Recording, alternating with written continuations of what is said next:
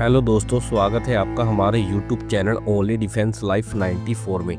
आज हम बात करेंगे भारतीय सेना के अग्निवीर अर्जुन महतो जी के बारे में, जो कि देश सेवा करते हुए 22 नवंबर 2024 के दिन शहीद हो गए थे। इनका जन्म 15 जनवरी 2003 को झारखंड में बोकारो के चंदन क्यारी में हुआ था। इनके पिताजी का नाम लंकेश्वर महतो जी है, जो कि एक किसान है। अग्निवीर अर्जुन महतो जी का एक भाई और दो बहनें।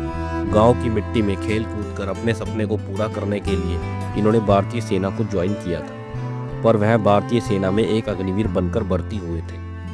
देश सेवा करने के जुनून से उन्होंने 1 नवंबर 2023 को सेना को ज्वाइन किया था। ट्रेनिंग पूरी करने के बाद उन्हें भारतीय सेना की दो सौ पचासी मीडियम रेजिमेंट में तैनात किया गया था। ड्यूटी ज्वाइन करने के बाद वह अपनी ड्यूटी को पूरी बहादुरी व ईमानदारी से निभा रहे थे। एक साल की सर्विस देने के बाद नवंबर 2024 में वह असम के सिलचर में अपनी यूनिट के साथ तैनात थे।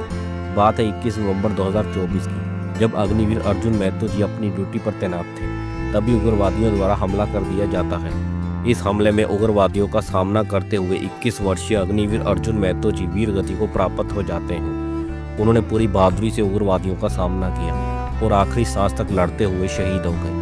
जब वह छुट्टी पर घर आए हुए थे तो उन्होंने वादा किया था कि वह जल्द ही छुट्टी वापस आएँगे और अपनी बहन की शादी करेंगे।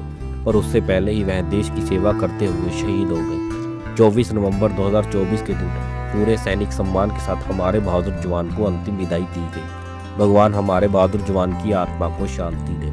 जय हिंद, जय भारत। ऐसे और जाबाज सैनिकों की स्टोरी सुनने के लिए आप हमारे YouTube channel only defence life 94 को सब्सक्राइब करें।